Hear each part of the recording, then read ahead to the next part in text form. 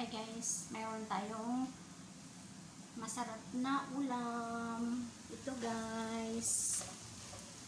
Yan. Ah, ang palaya.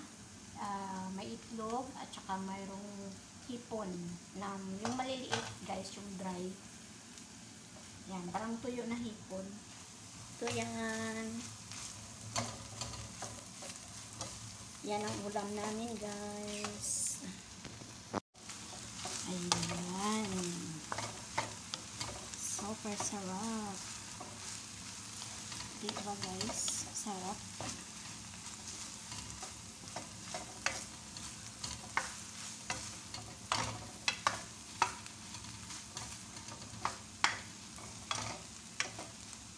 Ayan. Ito na.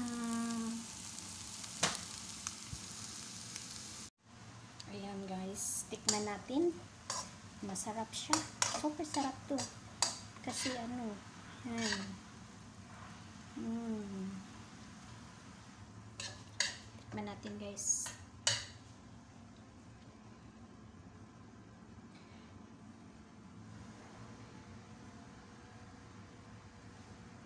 Yan. Ampalaya. Mmm, sarap.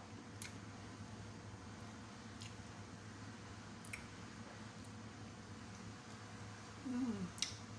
Super sarap guys.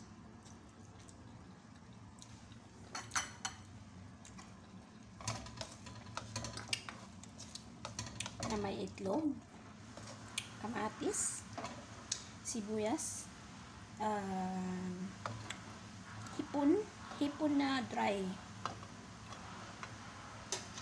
Ayan.